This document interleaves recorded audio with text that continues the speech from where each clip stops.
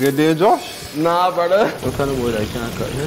Hello, and welcome to another episode of The Cook Off. My passion for food and cooking came from a necessity to live. I'm your host, DJ Ras. The clock starts now. Now, today it's going to be a vibe in the kitchen with all guys on set.